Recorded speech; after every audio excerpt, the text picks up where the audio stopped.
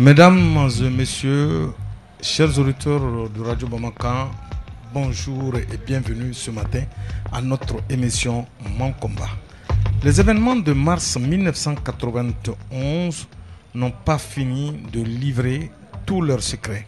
Contrairement aux actions menées par le mouvement démocratique constitué à l'époque par l'ADEMA, le CENIT, l'ADIT, l'AJDP, l'AEM, les associations islamiques, etc., des voix s'étaient levées pour exprimer leur part de vérité sur la vie de la nation de l'époque. Sont de cela le mouvement patriotique pour le renouveau, MPR, porté sur les fonds baptismaux en 1995.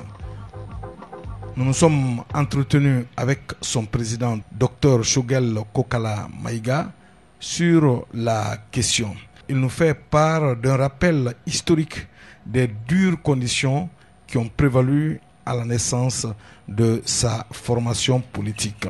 Vous savez, lorsque un certain nombre de militants de l'UDPM, après avoir suivi le cours des événements, les journées dites folles du 22 au 26 mars 1991, auxquelles moi j'ai assisté personnellement, j'ai circulé en ville, j'ai regardé, j'avais accès aussi à une certaine documentation au niveau de l'UDPM. Ce que j'ai vu dire après, nous avons attendu jusqu'à ce que ce qu'on appelait le procès du crime de sang se soit tenu. Moi-même, je me suis rendu à ce procès pour assister à tous les débats. Je l'ai fait pourquoi? Parce que je voulais me faire une opinion objective, réelle, de ce qui s'est passé, qui est souvent différent de ce qu'on dit aux gens, qui était différent de ce que moi-même je savais. Au sortir de ce, de ce procès, il y a des suppositions que j'avais, mais mes convictions ont été définitivement établies. La plupart des Maliens ont compris qu'en vérité, le soulèvement de mars 91, surtout les morts que nous regrettons tous, était le résultat d'une planification de la violence pour prendre le pouvoir. J'ai expliqué dans la presse qu'après 30 ans, il est important que nous fassions le bon diagnostic et qu'on tourne la page sur la base de la vérité. Les autres veulent maintenir la version qui n'est pas vraie, qui ne résiste pas aux faits. Vous savez, au Mali, il y a une succession de pouvoirs politiques de 1960 à 91. Vous avez la première république de 1960 à 68. Vous avez le régime d'exception du CMLN de 1968 à 74 lorsque la constitution de la deuxième république a été votée et la deuxième république de 74 à 91. Ces régimes-là ont chacun à leur actif des choses positives et négatives. Notre lecture, c'est de faire en sorte que tout ce qui a pu être fait de positif, qui a été fait au nom de tous les Maliens, soit retenu et que pour avancer, tourne la page sur les erreurs, on les examine, on les condamne quand c'est au besoin et on avance. Mais on ne peut pas construire le pays sur la base de quelque chose qui n'est pas vrai. Ce qui n'est pas vrai, c'est quoi? C'est de dire qu'au Mali, c'était l'enfer pendant tout le règne de Moussa. Que c'est après le 26 mars que les Maliens ont conquis toutes les libertés. Je dis que ce n'est pas vrai. Ça ne correspond pas à la vérité. Il y a différents types de libertés. Vous avez la liberté de conscience et de culte. Ces libertés ont été totalement rétablies au Mali. En 91, personne n'avait ce pouvoir-là. Personne n'avait ce problème. Personne ne se cachait. On se rappelle que dans les années 60, par exemple, les Wahhabis étaient obligés de se cacher pour prier. Chacun exerçait son culte comme il veut en 91. La liberté d'entreprise. Vous vous souvenez que dans les années 60, pratiquement il y avait une façon de tuer le privé qui ne disait pas son nom. Mais ça aussi, c'est pas par méchanceté. C'était le type de régime politique qui avait été choisi. Le régime socialiste était incompatible avec l'exercice de l'initiative privée des grandes entreprises privées. Et donc à cette période-là, mais beaucoup d'opérateurs économiques ont été obligés de s'exiler. Parce que pour créer une société et faire une activité économique, il fallait avoir au moins 30 ans et avoir un capital de 10 millions. C'est une façon indirecte de décourager les gens. Mais ce droit a été totalement rétabli en 1991. Il y avait les trois types d'entreprises, entreprises privées, entreprises mixtes et entreprises étatiques. Chacun pouvait faire ses activités comme il veut. Vous avez la liberté d'association. La liberté d'association a été rétablie. C'est d'ailleurs au nom de cette liberté d'association que les organisations qui ont combattu et renversé le régime ont été créées en octobre 1990. Le régime est tombé six mois après. Et ils ont eu leur récipicé, ils ont exercé. Vous avez la liberté de presse. Aujourd'hui, dans tous les discours, vous entendez les gens dire la liberté de presse a été acquise après le 26 mars. C'est faux et archi faux. La loi a été votée en 1988, trois ans avant la chute du régime, pour libéraliser la presse. Tout le monde pouvait créer son journal dans les conditions définies par la loi.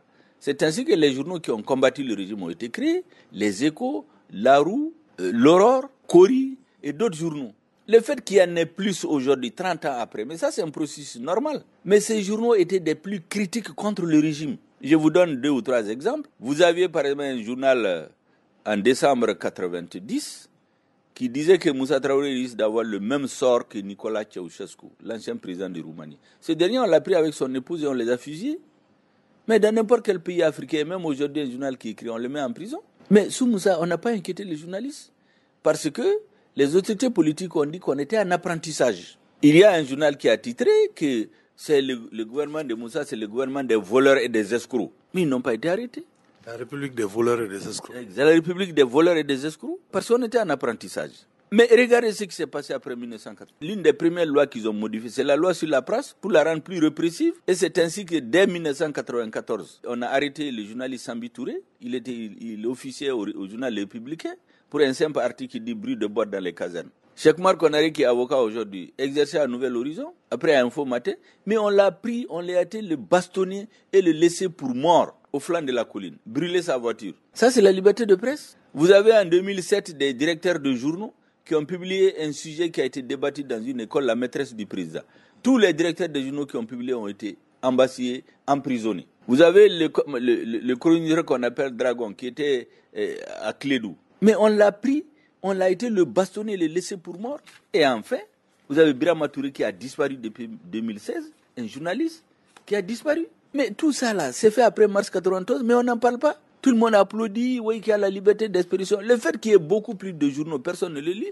La libération des ondes était intervenue après mars 91. C'est un processus normal. Donc, les radios privées, les télés privées, personne ne peut nier que c'est des, acquis de l'après-26 mars. Mais même si le régime n'allait pas changer ces acquis, elle allait intervenir de toutes les façons. Parce que c'est un processus évolutif. Ce qui ne veut pas dire que nous approuvons, c'est l'étiquette qu'on a essayé de coller au MPR, tous les abus, toutes les exactions qui sont intervenues sous le régime militaire contre les opposants. Mais nous n'avons jamais approuvé, nous avons dit qu'en mars 91, ce n'était pas la revendication des Maliens. Parce que ça, c'était du passé. Les prisons ont été fermées depuis 88-89. Il n'y avait aucun prisonnier politique en prison en mars 89. Donc les demandes des Maliens, c'était d'abord les jeunes auxquels on a promis de l'emploi après le changement de régime. C'était les chômeurs et les compressés auxquels on a promis de l'emploi. C'était les étudiants auxquels on a prévu une meilleure école, des meilleures conditions de vie, un internat. Les travailleurs auxquels on a promis 100% d'augmentation de salaire. Et enfin, la transparence, la lutte contre la corruption, le cocadier et les changements dans la façon de gérer, Ante Corolin fait faux. Tout le monde se rappelle de ça. Et le mutuatisme, c'était un élément. Mais on fait croire aux Maliens que c'était uniquement pour le multipartisme que les gens étaient sortis. Mais c'est pas vrai. Les chômeurs, les badauds qui sont morts dans la rue, ils ne manifestaient pas pour le multipartisme, c'était pour l'amélioration de leurs conditions de vie. Mais prenez aujourd'hui où est-ce qu'ils en sont. Concernant le multipartisme, j'ai expliqué, document à l'appui, c'est ce qui ne plaît pas à beaucoup qu'on appelle les acteurs du 26 mars. Parce qu'ils ne veulent pas de la vérité. La vérité, c'est quoi? C'est que le processus de transition vers le multipartisme est un phénomène planétaire dans tous les pays du monde, y compris l'Union soviétique où le parti unique est né dans les années 1900. On a renoncé au monopole du parti unique. Dans tous les pays africains, il y avait les partis uniques, quel que soit le, pays. D'ailleurs, au Mali, la constitution de la Première République reconnaissait dès son article 3 le multipartisme. Mais le premier qui a essayé de créer son parti en 1964, c'est Mamadou Fayenke, quand il a déposé la demande de récipicé. Mais on l'a pris, lui, la direction de son parti. Ils ont été jugés, condamnés et déportés. Ce n'est qu'après le coup d'État de 68 qu'ils ont eu droit à revenir dans leur famille. Donc, quand les militaires ont fait le régime d'exception, pendant lequel il y a eu beaucoup d'abus, personne ne peut nier ça. Nous avons dit que les militaires ayant élaboré une nouvelle constitution, en 74, on a mis dans l'article 5 que le parti est unique. Donc c'est le monopole du parti unique sur le pouvoir qu'il fallait enlever de la Constitution. Le Mali n'étant pas une île, très tôt au sein de l'IDPM, le débat a été posé. Et j'ai expliqué parce que j'ai les dates en mémoire, j'ai participé à tout. C'est en décembre 1989 que la première fois, Moussa Traoré au Conseil national de l'UDPM, tenu au Palais de la Culture, a posé la question aux membres du Conseil national, qui étaient qui? Les secrétaires généraux, les députés, les directeurs des grandes sociétés entreprises d'État, les directeurs nationaux, les officiers supérieurs et assimilés, et l'UNTM qui était membre de droit du Conseil national de l'UDPM. Mais ce jour-là, quand Moussa Traoré a posé la question, en décembre 1989, c'est le secrétaire général de l'UNTM, père à son nom, notre père Bakary Karambe, c'est lui qui a pris la parole pour dire que se rappelant de ce qui s'est passé au Mali dans les années 59, 60, des bagarres dans les rues, les déchirures des familles, les assassinats politiques liés au multipartisme, qu'ils ne seront jamais d'accord pour le retour du multipartisme au Mali. Le débat s'est arrêté. Mais l'effervescence a continué dans la société, y compris au sein de l'UDPM. Ce qui fait que le 30 mars 1991, c'est Moussa Traoré qui a demandé d'organiser un débat sur l'exercice de la démocratie au sein du parti, mais ouvert à tous les cadres maliens, y compris ceux qui ne sont pas avec l'UDPM. C'est ce jour-là que beaucoup d'opposants, qu'on présente aujourd'hui comme des héros, ont pris la parole. Ali Noumdiallo, le professeur Madou Lamine Traoré, Amidou Diabaté, et ainsi de suite. Ils ont pris la parole pour dire qu'il faut le multipartisme. Mais ils n'ont pas été arrêtés. Et puis c'est une réunion de l'UDP, mais ils n'étaient pas membres de l'UDP, ils sont venus s'exprimer parce que le gouvernement, le parti voulait déjà aller vers l'ouverture, mais il fallait préparer. La question, ce n'était pas garder ou non le multipartisme. La question était quand et dans quelles conditions il faut aller vers le multipartisme. On voulait une transition pacifique, une transition ordonnée, une transition républicaine qui ne va pas briser notre société. Quelques mois après, vous avez l'UNTM, le barreau, l'AMDH, toute la société civile qui a dit qu'il faut aller vers le multipartisme. Je dis cette date-là pour que les Maliens comprennent que le discours qui a été servi, c'était de la propagande, c'était du mensonge. En juin 1990, l'UDPM, à sa session du Conseil national, a débattu de la question, ne l'a pas vidé et a reporté à une session spéciale à convoquer au mois d'août 1990 à l'effet de trancher la question du multipartisme. Ce débat a eu lieu et, entre-temps, la guerre a été déclenchée au nord le 29 juin 1990. Changer la constitution pendant qu'on était en guerre, il y a eu des débats intenses au sein de l'IDPM, il n'y a pas eu d'accord, alors que la majorité des sections étaient d'accord pour aller à l'ouverture tout de suite. La décision a été prise de renvoyer l'ouverture officielle au congrès de mars 1991. Mais qu'entre-temps, il faut continuer le débat dans la société. Il faut laisser les citoyens s'exprimer. Il faut s'organiser pour qu'au moment où le multiparti va être déclaré, ça trouve que la société est prête. C'est dans ce cadre-là que moi j'ai publié un article qu'on appelait le multipartisme. Et j'ai dit là-dedans, en août 80, 1990, personne ne pensait à ce moment que le régime allait changer. J'ai réclamé le multipartisme comme étant une étape dans le processus de démocratisation du pays, mais en précisant qu'il ne faut pas confondre multipartisme et démocratie. Il peut y avoir multipartisme, mais il n'y a pas de démocratie, parce qu'en réalité, la démocratie, c'est au service du peuple. Qu'avant d'instaurer un système, j'ai cité dans l'article qui est disponible, Jean-Jacques Rousseau, qui dit qu'avant d'installer tout système, il faut tenir compte de la réalité, de la culture, du niveau de développement économique, de la conscience nationale, des habitudes. Et j'ai dit, c'est tout ce que nous demandons. Quelques semaines après, le secrétaire général de l'UNTM, l'UNGM, Oumar Kanouté, a publié un article où il dit que le multipartisme doit être accepté et doit être compris comme une étape, pas une fin en soi, une étape qualitativement nouvelle pour aller de l'avant. Et c'est quelques semaines après que les associations qui ont renversé le régime ont été créées, le CINID, l'ADEMA, JLD, AEM, AJDP, ainsi de suite. Ils sont venus après que le débat soit rendu public par l'UDPM et nous-mêmes. Ces associations sont créées, elles ont bâti le pavé et on est arrivé à la confrontation à partir de janvier. Ce que moi personnellement je regrette profondément parce que ce n'était pas nécessaire. La question du multipartisme était acceptée de tout le monde. La date où il fallait la proclamer, c'est là qu'il y a eu des problèmes. Pourquoi? Parce qu'en vérité, sous le couvert de la demande de la démocratie, il y a des partis qui s'organisaient depuis plus de 20 ans des partis d'extrême gauche, des partis trotskistes, des partis communistes, des partis qui étaient condamnés, interdits même sous Modibo, parce qu'ils étaient de l'extrême gauche, des partis.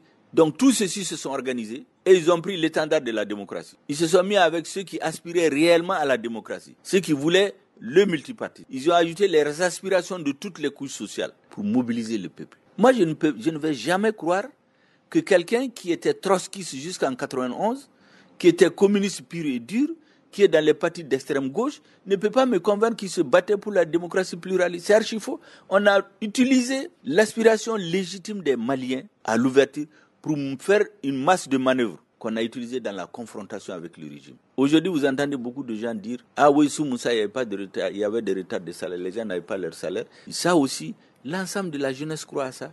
Mais c'est faux, c'est pendant une période entre 85, je crois, et 89, 90.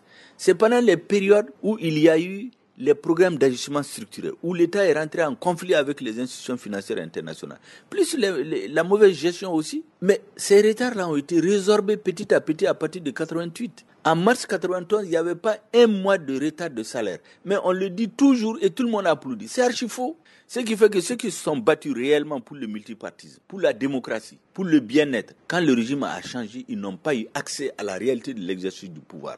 On est arrivé à la confrontation comment? Pendant que l'UDPM écrivait dans ces sections, les débats continuaient. Quand on est arrivé au mois de janvier, janvier, le 21 janvier 1991, exactement, le bureau exécutif central de l'UDPM, le BC, s'est réuni pour entériner le multipartisme dans un document intitulé que j'ai sous la main, je peux le montrer à qui veut le voir, intitulé Réflexion sur le multipartisme.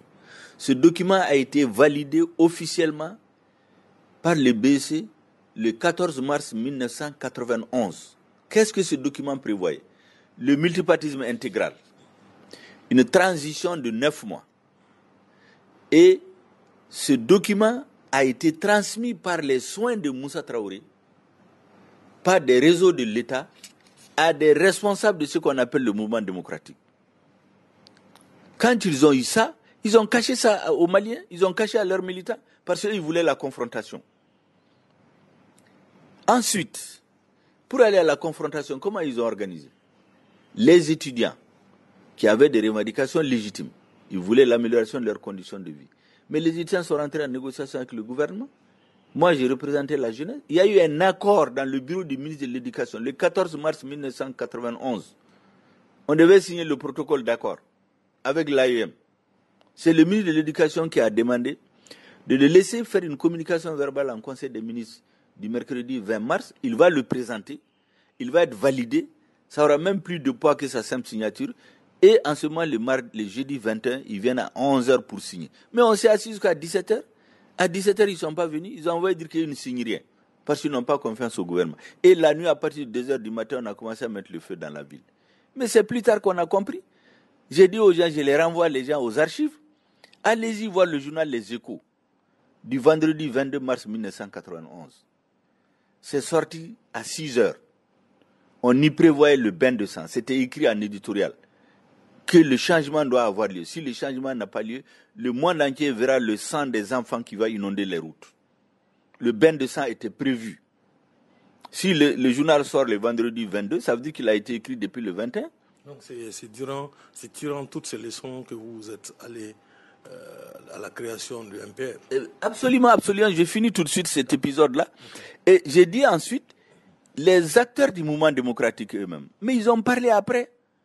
Je vous renvoie à l'essor du 28, l'essor numéro spécial du 25 mars 1992.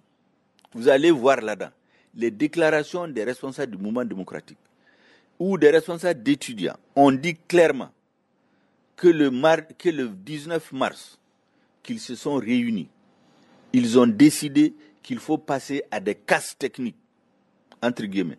Que parce qu'ils ont fait des marches pacifiques que le gouvernement laissait faire, ils en avaient marre. C'est là qu'on a fait la liste des édifices à brûler, des maisons à brûler, des maisons personnelles à brûler. Mais qui a fait ces listes-là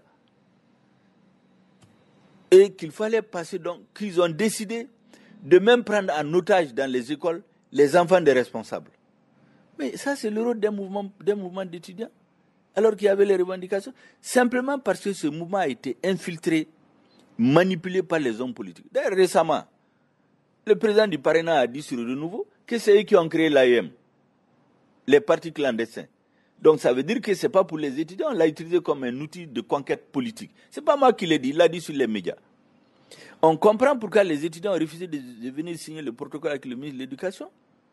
Il y en a qui ont dit qu'ils ont, ils ont cherché des armes qu'ils ont données aux étudiants, des armes et des tenues. Il y a des étudiants qui ont dit qu'on leur a donné des armes et des tenues pour aller tuer des gens en ville. Mais est-ce que ça, c'est le rôle des mouvements politiques? Et quand le régime a changé, qu'est-ce qu'on a vu? Les militaires qui ont commandé les opérations de maintien d'ordre, à la suite desquelles il y a eu les morts. Ils sont tous venus ministres dans le gouvernement d'après. Celui qui disait le procès opérationnel, il est venu ministre de la Sécurité. Mais comment les Maliens peuvent comprendre ça? Donc la vérité, c'est qu'il y a eu un complot, il y a eu une planification du bain de sang pour prendre le pouvoir. Et c'est ce qui est arrivé. Il ne faut pas chercher midi à 14h. Ce n'est pas le refus du multipartisme. Il y avait des gens qui avaient des comptes personnels à régler avec Moussa Traoré. Il fallait le faire tomber. Ils ont trouvé des alliances à l'intérieur et à l'extérieur et ils ont fait tomber le régime. Maintenant, une fois que le régime est tombé, moi, ce que je reproche aux uns et aux autres, quand le régime est tombé, mais quand avez-vous fait des revendications pour lesquelles le peuple, vous avez fait soulever le peuple? Les chômeurs, est-ce qu'il y a moins de chômeurs aujourd'hui que sous Moussa? Personne n'en parle. Le cocaïne, la corruption. La corruption a été organisée officiellement. L'un des indices, c'est que sous Moussa, quand un marché dépasse 10 millions, il faut faire un appel d'offres. Quand vous détenez plus de 10 millions, vous êtes condamné à mort. Quand ils sont venus, ils ont changé. Pour qu'un marché soit obligatoirement soumis à appel d'offres, il faut aller à 250 millions. Et les gens ont commencé à détourner par milliards avec les preuves. Personne n'est arrêté, personne n'est jugé. Donc on a mis un système de prédation, de corruption généralisée. Donc, Kokayet Tarami. On a, le Mali est devenu un État rentier, un État vaillou. Les vendeurs de drogue, les détourneurs, c'est eux qui se recyclent pour devenir des responsables politiques. Tous les militants de bonne foi du mouvement démocratique. Parce que moi, j'ai fait la différence entre ceux qui se battaient sincèrement pour les libertés et ceux qui utilisaient l'aspiration aux libertés pour s'emparer du pouvoir et faire autre chose. Les plus vertueux du mouvement démocratique, ils n'ont pas eu accès à la gestion effective. On les a utilisés souvent dans des positions, mais ce n'est pas eux qui ont dirigé les opérations. Donc, Kokadje, les détournements, la corruption généralisée, l'école, pendant toutes les années où Moussa Traoré était au pouvoir, c'est l'école qu'on a utilisée comme masse de manœuvre, pour outils de combat politique. Mais quand Moussa Traoré quittait au pouvoir, tu peux dire ce que tu veux de son régime. Il était dictatorial, il était ceci, il y a cela. Mais il y avait une école. Le diplôme du Mali était le meilleur dans la sous-région. Vous ne partez dans aucun pays avec le, diplôme du Mali qui soit rejeté. Quand vous finissez l'ENSEC pour enseigner dans les écoles, euh, à l'école fondamentale, quand vous partez dans la sous-région, vous enseignez dans les lycées. Quand vous finissez l'ENSU pour enseigner au lycée au Mali, vous partez dans dans les autres pays africains, vous enseignez à l'université. Ça montre le niveau. D'ailleurs, tous les opposants qui ont combattu Moussa, tous sans exception, ils ont été formés pendant cette école. Maintenant, quand ils ont pris le pouvoir, ils ont formé quel genre d'école? Le premier parti qui est venu au pouvoir, c'était l'ADEMA. Ils avaient plus de 80% de leurs membres qui, étaient, membres qui étaient des enseignants dans la direction. Mais l'enseignement est tombé. Personne ne veut du diplôme malien. Et Alpha Omar lui-même, à la fin de son mandat, il dit que son échec, c'est l'école. Mais vous avez utilisé l'école, vous dites que l'école a échoué. Deuxièmement, l'armée, c'était la deuxième composante. C'est les militaires qui ont, qui ont fait le coup d'État. Mais en 91, il y avait une armée.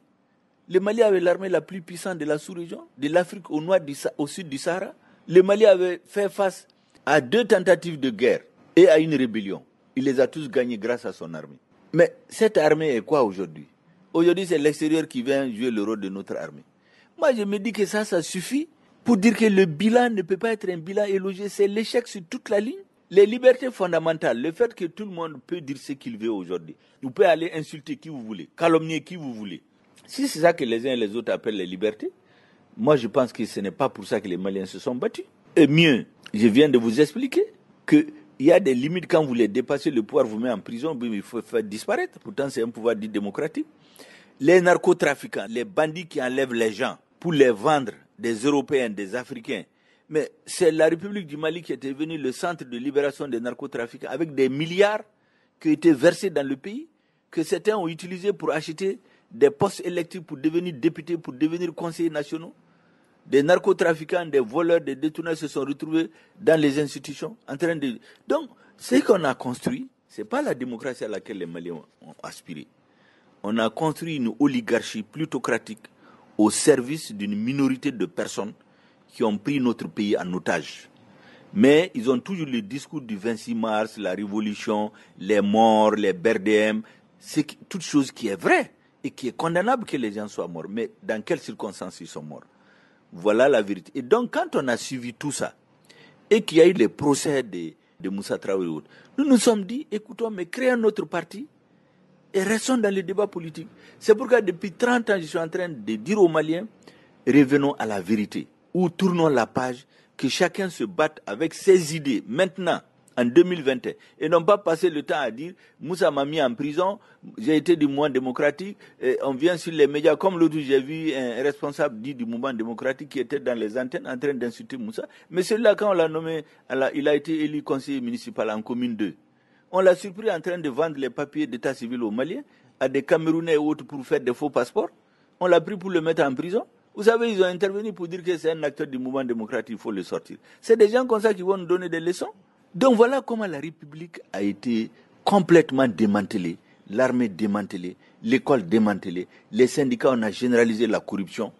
L'AM, ils disent que l'AM a été cassé. Pourquoi? L'AM, ce n'est pas la corruption et la violence que l'AM a été cassé. Les partis, la corruption, la première fois où on a cassé un parti, c'était un parti dit du mouvement démocratique, c'est le CINID. On l'a cassé pourquoi? Pour que certains deviennent ministres. À partir de ce moment, les gens se sont dit, pour devenir ministre, il faut casser ton parti, il faut trahir tes collègues, ou tu crées un parti, tu incites le pouvoir. Les partis ont commencé à se multiplier. Voilà pourquoi on a 216 partis. Tous ces partis ont été cassés à cause des postes. Et, et, donc, quand le MPR s'est créé, nous avons dit, écoutez, quand vous regardez dans le programme de l'IDPM et les idées de l'IDPM, elles sont bonnes fondamentalement. Il y a eu certes des erreurs, il y a même eu des fautes, parce que tous les mots qu'on cite là, la corruption et ceci, là, n'ont pas commencé avec la Troisième République. Elles ont existé sous la Deuxième République, elles ont existé sous la Première. Donc, nous avons dit, le programme de développement est tel que c'est un bon programme. Nous allons l'actualiser et être dans le débat politique. Ce programme s'articule autour de quoi? L'autosuffisance alimentaire, le désenclavement intérieur et extérieur, la sécurisation totale du territoire, une diplomatie de développement et les secteurs sociaux, il faut les développer. Vous entendez les uns les autres partir des CESCOM, les centres de santé communautaire. C'est une initiative de Moussa Traoré en 1990. Ça s'appelait l'initiative de Bamako, que toute la communauté internationale a pris comme exemple. Et le premier CESCOM qui a été créé au Mali, ça a été créé à Bankoni, à Sakoba. Le premier directeur, c'est le professeur Akouri Agiknan. Pourtant, il n'avait rien à voir avec l'UDPM, il n'avait rien à voir avec l'UNG, mais parce qu'il était compétent. Maintenant, on a multiplié les Asako, mais c'est normal 30 ans après, après des budgets, parce qu'après le 26 mars, on a arrosé le Mali d'argent en disant que c'est l'exemple. Donc, nous sommes dit que le résultat de ces actions de développement, c'est quoi? C'est que quand vous regardez dans le domaine des infrastructures, les grandes réalisations, comme la route Sevari-Gao, la route Bamako-Bougouni, la route Djema-Djidjeni-Nara, et, et d'autres, je peux en citer, les grands aménagements à l'Office du Niger pour avoir l'autosuffisance alimentaire, la CMDT, qui est le floron de l'industrie malienne. Tout ça, ça a été créé sous Moussa. L'ITEMA, les gens disent oui qu'il y avait beaucoup d'entreprises sous le président Modibo Keta, sous la Première République, ces entreprises ont été dilapidées par Moussa Traoré. C'est faux et archi faux. En 1967, 80% de ces entreprises étaient en faillite. Je peux le montrer document à l'appui. C'est ce qui a justifié d'ailleurs le retour du Mali au franc CFA. Ça aussi, on dit que c'est Moussa Traoré. Les accords franco-maliens ont été signés en février 1967 qui prévoyait le retour du Mali au CFA dans 5 ans, donc en 72. Mais ces actes ont été assumés après au nom de la continuité de l'État. Donc nous nous sommes dit, quand vous regardez en plus au Mali, des années, même aujourd'hui, après la chute de Moussa, plus de 50% de l'énergie consommée dans notre pays, c'est les infrastructures énergétiques, Sélengue et Manantali, qui ont été faits sous Moussa. Les grands aménagements agricoles dans la région, de, dans le cercle de Diré, qui fait qu'aujourd'hui, le riz, le mil, le blé, l'oignon coûtent moins cher là-bas que dans les grands centres urbains. Mais ça, c'est des résultats qu'on ne peut pas nier. Vous regardez en matière d'infrastructure à Bamako, tout ce sur quoi tu peux pointer la main aujourd'hui à Bamako. Le palais des congrès, le palais de la culture, le, le troisième pont, la grande mosquée de Bamako, l'aéroport Modibo Keta, le bâtiment de la BCAO. Tout ceci ont été faits pendant que le président Moussa était au pouvoir. Donc, nous avons dit que nous ne pouvons pas accepter ce discours qui consiste à dire que rien n'a été fait. Donc, nous prenons ce qui est fait, nous cherchons à l'améliorer. Un. Deuxièmement, les libertés qui ont été acquises. Nous participons au débat de leur approfondissement. Et enfin, nous avons dit qu'on a une armée digne de son nom sous Moussa. Cette armée, cette armée, cette école ont été déstructurées. Donc nous avons dit on met un parti pour nous battre pour les réorganiser. Voilà les objectifs du MPR. Mais dès qu'on a été créé, ils ont dit non, c'est les gens de Moussa, ils veulent ramener au Moussa la dictature, c'est des nostalgiques de la dictature. Et, les gens qui ont été à Taoudeni, les gens qui, ont été, qui sont morts à Taoudeni, ils, ils nient ça. Alors que c'est faux, on n'a jamais nié ça. On n'a jamais dit que ce n'est pas, c'est quelque chose de bien. Mais Taoudeni et tout ça, c'était déjà fermé. En 91, ce n'était plus des enjeux pour nous diaboliser. Nous avons tenu. Ils ont même appelé notre parti impère que Moussa peut revenir. Que c'est ça le impère. Tout ça, c'était pour nous diaboliser. Et les militants du impère aussi, certains des militants de base de République, ils disent Moussa président de la République. Mais on va rester dans ça. Nous, nous avons dit non, nous continuons avec le débat. Et ce débat a continué jusqu'à la date d'aujourd'hui. Le impère est dans le jeu politique. Aujourd'hui, il se porte bien, comme tous les partis politiques. Il est en train de faire son travail de sensibilisation. Euh, euh, dans la perspective des futures échéances électorales. Voilà ce qu'on peut dire, en tout cas, de la question du 26 mars. Ce qu'on retient, c'est que un régime politique, quelle que soit la façon dont il s'installe, quand vous voulez le juger, vous prenez deux données. La première donnée, quelles sont les revendications du peuple? Quelles sont les promesses faites par ceux qui sont au pouvoir avant de prendre le pouvoir? La deuxième chose, quel est l'état de la nation? Et vous regardez comment les choses ont progressé. Prenez l'état de la nation au Mali en 1991. Vous pouvez dire ce que vous en voulez. C'est un État non démocratique, un État dictatorial et ceci et cela. Mais au moins, on avait un État. On avait une armée. On avait une école. On avait une justice. On avait un pays. On avait l'unité nationale. Aujourd'hui, on n'a pas d'armée digne de ce nom. On n'a pas d'école digne de ce nom. la justice, tout le monde sait ce que les gens en disent. Le pays est divisé. On n'a plus de pays. Vous avez la guerre civile. Vous avez des gens qui meurent par centaines. Eux aussi sont des martyrs. C'est le, résultat d'une politique. Et tout le monde vous dira que c'est l'échec sur toute la ligne. La quasi-totalité. C'est pourquoi d'ailleurs les acteurs de premier plan, on ne les voit pas. Ceux qui viennent dans les médias, là, c'est la plupart des gens qui n'étaient même pas au Mali au moment où les événements arrivaient, mais ils sont des opposants. Deuxième chose qu'il faut voir, quelles sont les revendications? Quelles sont les promesses? En mars 91, on a parlé de Kokadje. Je ne reviens pas là-dessus. La corruption, tout le monde sait les ravages que ça fait dans le pays. Ante Corolin fait faux Koura. Koura Minana, Oka Djogouni Corolin. Tout le monde sait ça. Et on a dit la démocratie. Aujourd'hui, on a 200 partis, mais on n'a pas de système démocratique. Toutes les élections sont volées. C'est l'argent l'achat de conscience, la falsification des résultats. Ce qui fait que quand les gens s'installent au pouvoir, à la moindre crise politique, ils tombent ou bien ils courent vers les religieux, les notables pour essayer de stabiliser la situation. Parce que le jeu institutionnel normal ne stabilise pas le régime. Parce que c'est un régime, du, point de vue de sa représentative populaire, il est illégitime. La population ne vote pas. Vous prenez les présidents, on est 20 millions d'habitants aujourd'hui. Les dernières élections, Ibeka a été élu avec moins de 1 million 700 000 personnes sur 20 millions d'habitants. Donc, on a des problèmes de légitimité des institutions. On a une question de véritable démocratie. Le jeu démocratique ne se fait pas. On est dans un régime où on vole, on triche les élections. C'est les voyous, les bandits, les narcotrafiquants, les escrocs de tout genre qui gagnent la plupart des élections. Vous avez quelques personnes de bonne foi qui sont démocratiquement élues, qui sont appréciées par la population, mais ils sont minoritaires. Et les leviers du pouvoir on sont dans les mains de ceux qui n'ont rien à faire avec les intérêts du Mali. C'est ce qui explique, par exemple, euh, tout ce qu'il y a au niveau de la, de la gestion du budget de l'armée, du budget de l'école. Donc c'est archi faux tout ce qu'on on a dit sur les sur l'après 26 mars. Donc c'est pourquoi je dis quand on met tout ça ensemble, il faut qu'on s'arrête pour se dire ça suffit. Faisons l'union sacrée des véritables patriotes pour sortir notre pays du trou dans lequel il est. Parce que la vérité, c'est que aussi longtemps qu'on va continuer dans le même discours, les fous, les mendiants, les étudiants, les manifestants qui sont morts en 91, innocemment, ou tous ces gens-là qui sont morts parce que deux groupes étaient là, il y a un qui voulait prendre le pouvoir, l'autre voulait garder le pouvoir. Ils se sont affrontés, il y a eu des morts innocents. Et on a fait le contraire de ce qu'on a promis à ces morts-là, de ce qu'on a prétendu défendre au Hake de Bekabomella. Euh, malgré tout ce qui a prévalu à la création de MPR, euh, ce que vous venez de dire tout de suite, vous avez tenu quand même à garder l'initiale UDPM, à savoir euh, dans la devise, à savoir unité, défense de la, la patrie malienne. L'UDPM encore? Vous savez, nous, nous ne tournons pas autour du pot. Moi, je ne suis jamais dans les choses clandestines. Quand nous avons voulu créer notre parti, nous avons pris le sigle UDPM, on n'a pas caché. C'est le gouvernement qui avait refusé, en prétextant que l'IDPM a été dissous en mars 83. Nous avons dit que c'est faux. C'est la constitution de la Deuxième République qui a été dissoute. Et dans la constitution, il n'y avait pas le mot IDPM.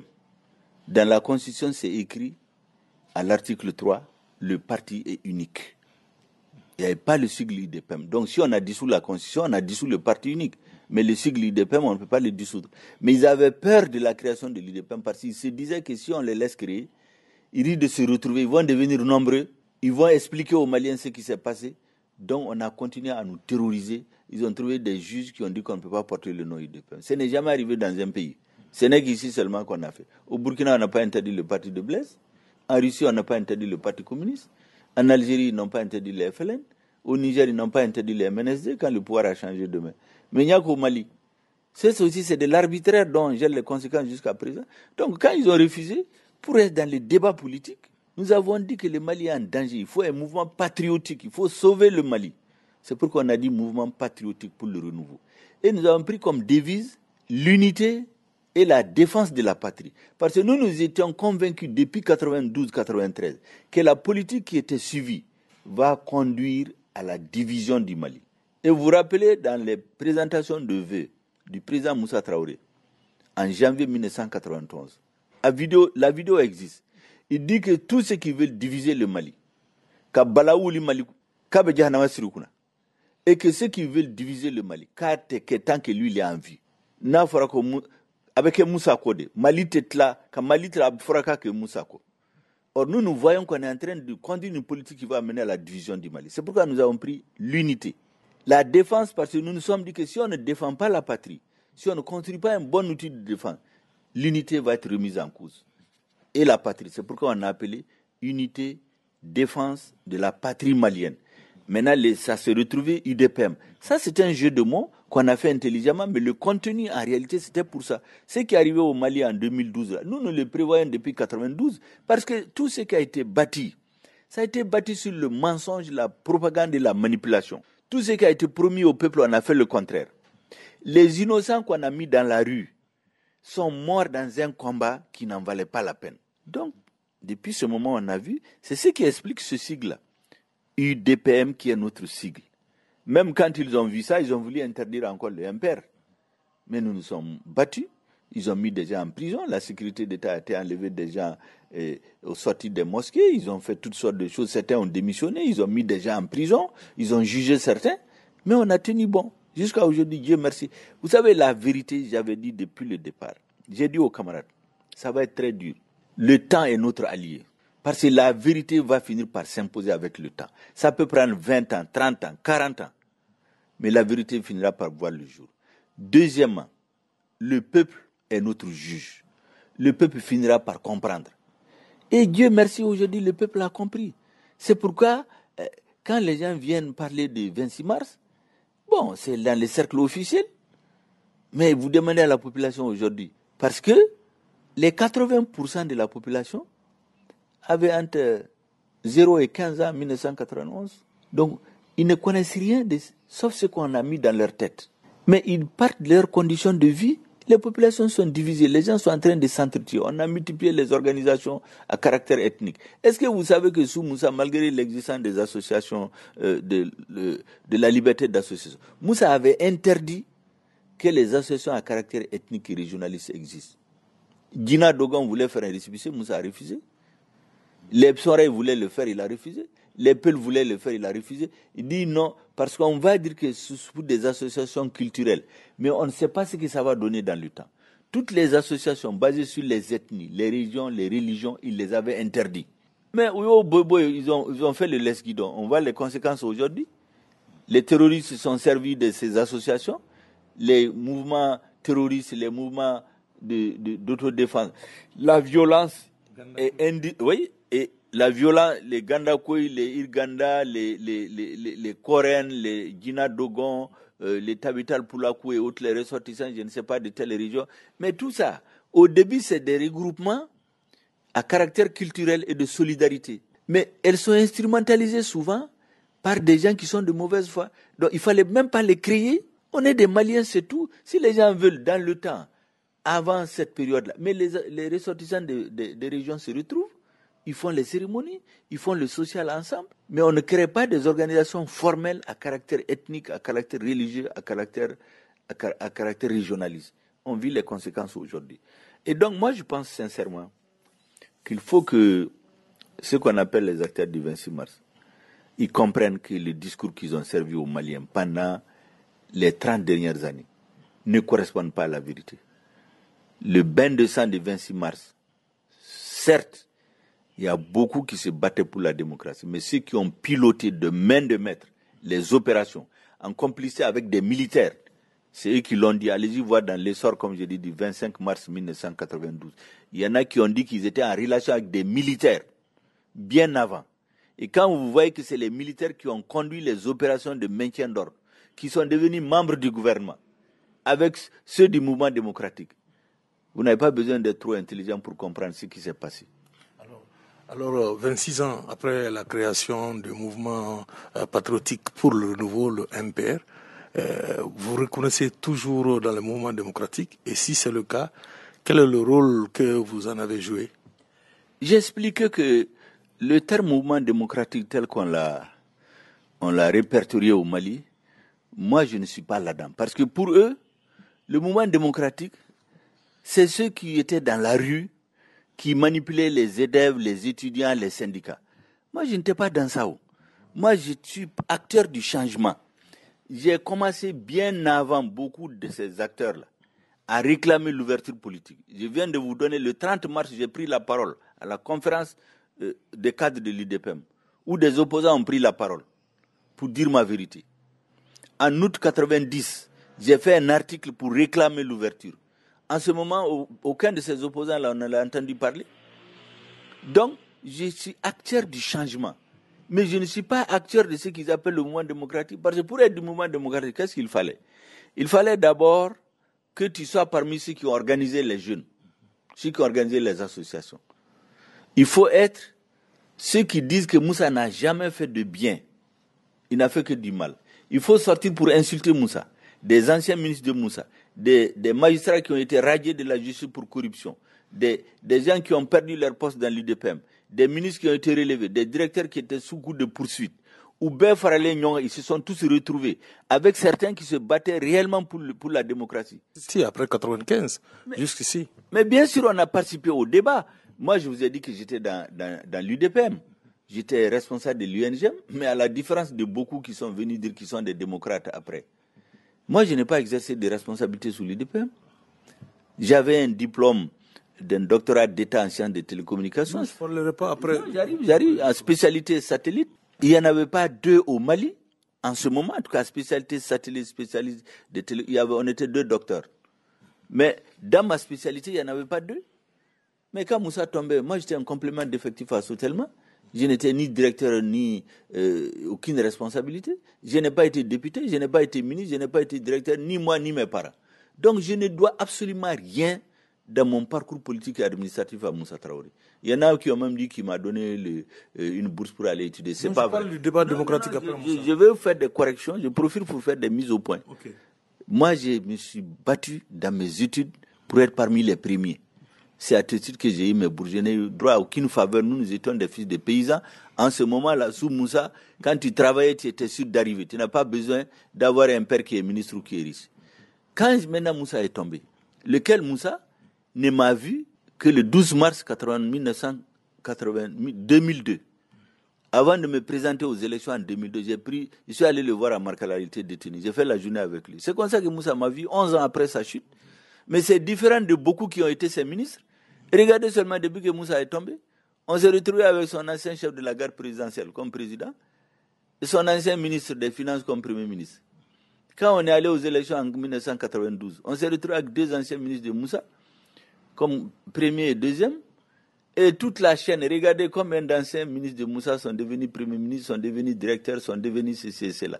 Mais, mais tout ceci, personne ne leur dit rien. Mais moi, on me dit non, vous voulez ramener Moussa au pouvoir parce que, parce que. Maintenant, je suis revenu dans le jeu politique. Pourquoi? Notre parti s'est battu pour avoir des élus. Il s'est trouvé qu'en 2002, Amadou Toumani Touré a fait une bonne lecture de la situation du Mali.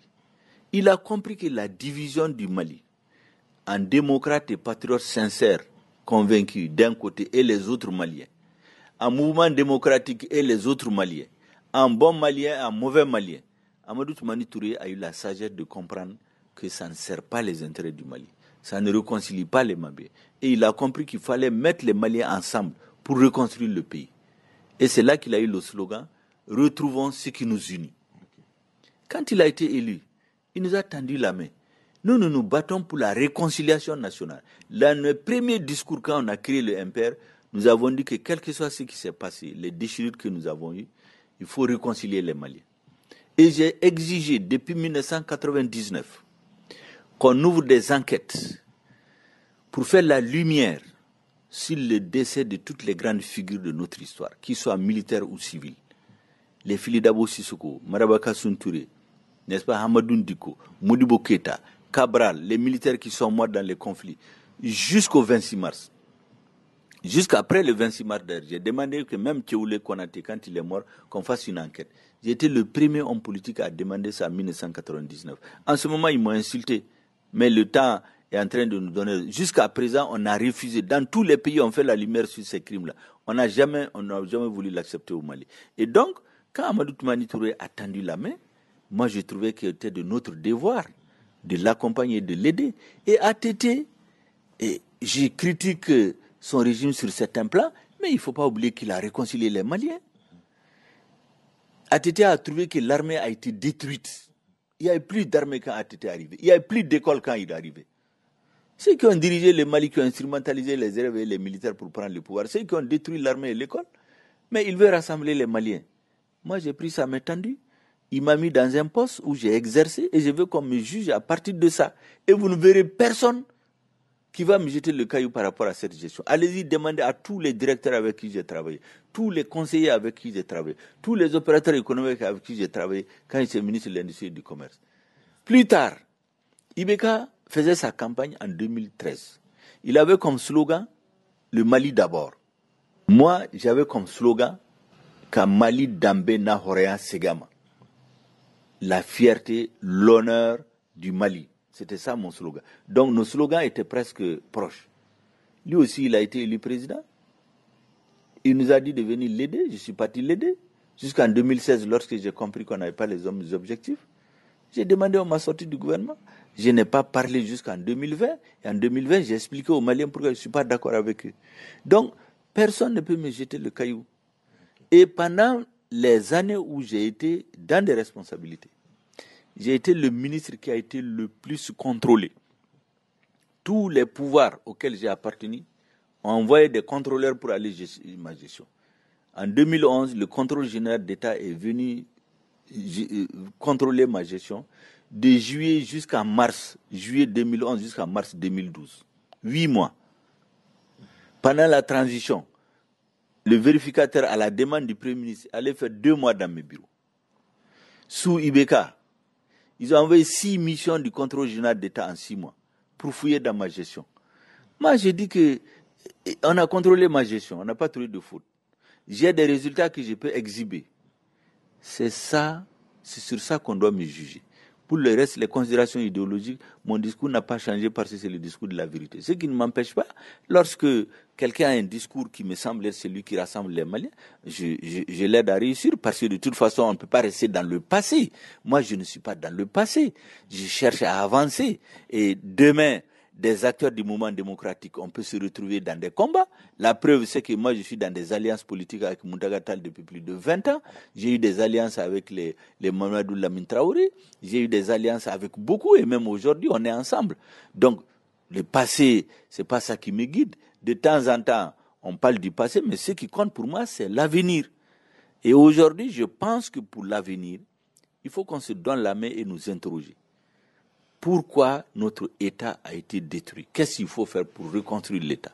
Notre école, notre pays, notre armée, pour que le Mali retrouve son honneur, sa dignité, son unité, sa souveraineté et son indépendance. C'est ça les débats qui valent aujourd'hui. Alors, il nous reste euh, cinq euh, minutes. J'ai deux questions.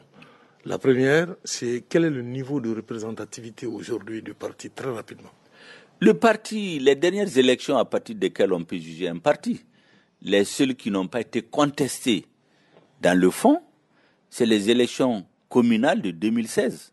Après ces élections, sur plus de 200 partis, l'Impère a été classé cinquième par le nombre de conseillers. Alors que c'est un parti qui a été toujours traqué, marginalisé, vilipendé. On a été cinquième sur 200. Je pense que vous pouvez juger vous-même. Est-ce que vous êtes euh, en train de faire l'unanimité parce que vous êtes un des ténors du M5 Vous êtes en train de faire l'unanimité autour de votre personne pour que euh, aux, échéances électorales à venir que vous soyez candidat de ce mouvement?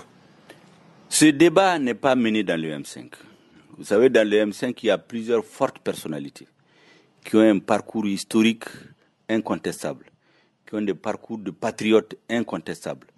Donc, dans le M5, personne, encore moins moi, ne peut prétendre être plus représentatif, plus patriote, plus compétent que les autres. Ce débat, nous allons le mener. Nous avons décidé délibérément de le reporter à plus tard. Aujourd'hui, ce qui est important pour nous, c'est que d'abord, euh, il faut qu'on se mette ensemble quel que soit ce qui nous a divisés par le passé. Tout le discours que j'ai tenu sur le 26 mars, là, les acteurs du 26 mars, l'après 26 mars, c'était pour rétablir un certain nombre de vérités. Mais une fois qu'on passe ce cap-là, il faut maintenant se tourner vers l'avenir. L'avenir, c'est quoi? C'est le rassemblement des forces patriotiques. Il faut que les patriotes se retrouvent pour sauver le pays. Et pour cela, nous avons décidé d'abord de nous battre pour obtenir une rectification de la transition. Parce que telle qu'elle est en train d'être conduite, elle va, elle va, nous, elle va aboutir forcément à l'impasse. Et nous ne voulons pas de cette impasse-là. C'est pourquoi nous parlons de rectification de la transition, de la trajectoire de la transition, et c'est ça notre combat aujourd'hui.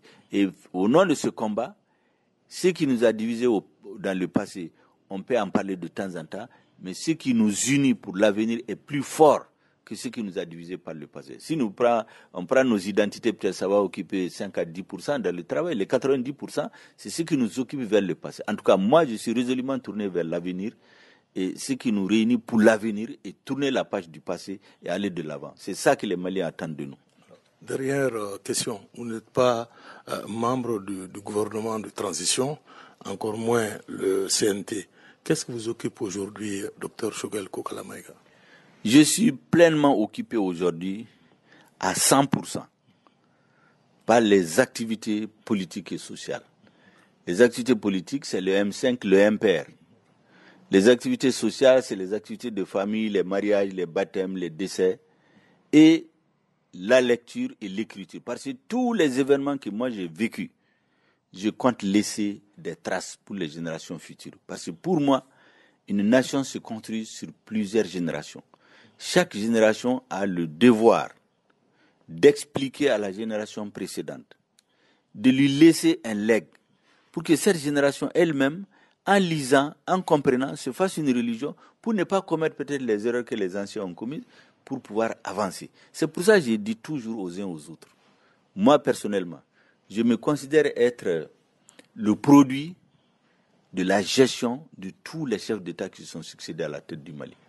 Vous savez, moi j'ai été à l'école grâce à la réforme de 1962. S'il n'y avait pas une politique volontariste du président Modibo Keta et du RDA, je ne serais jamais allé à l'école nous étions sous des paillotes au bord du fleuve. Donc il y avait une, politique volontariste.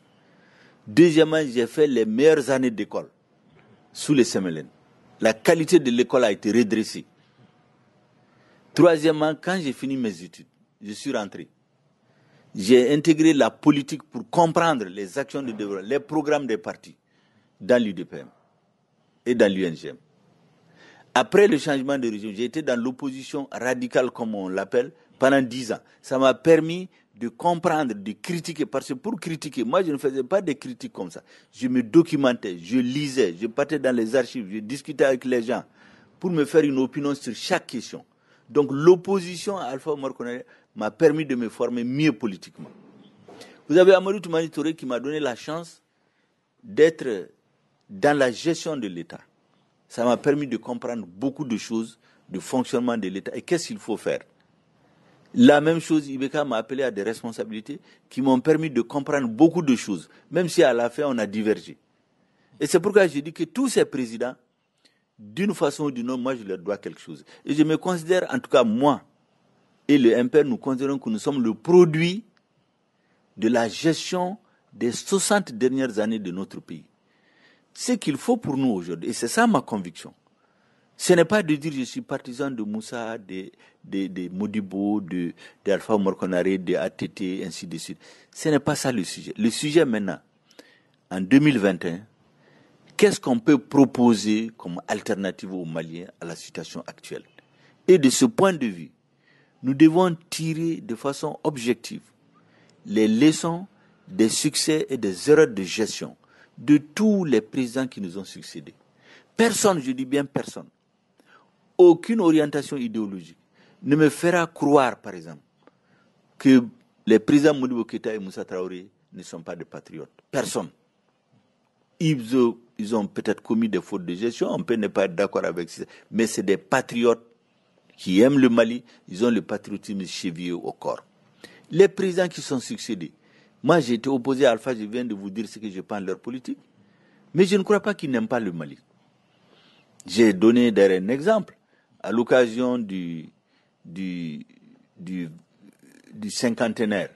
Un journal m'a interviewé. J'ai dit, moi j'étais très critique sur son bilan, mais quand il quittait le pouvoir, les Maliens ne se tiraient pas dessus. Donc, je ne crois pas qu'il n'aime pas le Mali. Mais je pense que la façon dont il est arrivé au pouvoir, la façon dont il l'a exercé, sont contraires à l'idéal sous lequel il s'était présenté. Vous prenez Amadou Touré. Je suis convaincu que ce qu'il estime être peut-être des injustices, des fautes qui se sont passées sous la, sous la transition, c'est ce qu'il a essayé de corriger en rassemblant les Maliens, en disant retrouvons ce qui nous unit, parce qu'il a compris que la division des Maliens ne construit pas notre pays. Il a trouvé, comme je dis, l'école et l'armée détruites. Il n'a pas pu les reconstituer, mais il a investi dans les infrastructures. Il y a beaucoup de milliers de Maliens qui sont sortis de la précarité, qui ont une certaine situation confortable grâce à lui grâce à sa volonté. Et donc, eh, quand vous regardez tout ça, la question pour moi aujourd'hui, c'est de s'interroger, chacun de ces présidents, qu'est-ce que vous prenez en lui de bien pour en faire la synthèse et utiliser votre propre intelligence et votre personnalité pour faire avancer le Mali? C'est comme ça que moi je vois les choses. Je ne vois pas le Mali en noir et blanc, comme disait l'autre, que plusieurs fleurs fleurissent. C'est les bilans de tous ces présidents il faut en faire la synthèse et reconstruire le Mali nouveau. Voilà comment je vois les choses. C'est pourquoi je dis toujours aux uns aux autres, ne perdez jamais l'espoir. Je dis aux Maliens, ne perdez jamais l'espoir. Toutes les grandes nations que vous voyez là, l'Amérique, la Russie, la France, la Chine, il y a eu des périodes de leur histoire où leur nation a failli disparaître. Ils sont tombés dans l'abîme, souvent grâce à cause de la mauvaise gestion de leurs dirigeants ou des agressions extérieures comme le Mali, c'est le cas au Mali aujourd'hui. Mais c'est trouvé à un moment donné de leur histoire des patriotes pour sortir leur pays, pour restituer à leur pays son honneur et sa dignité. Et au Mali, il y a des enfants. Nous travaillons à cela et nous allons sortir le Mali de cette situation dramatique. Merci beaucoup.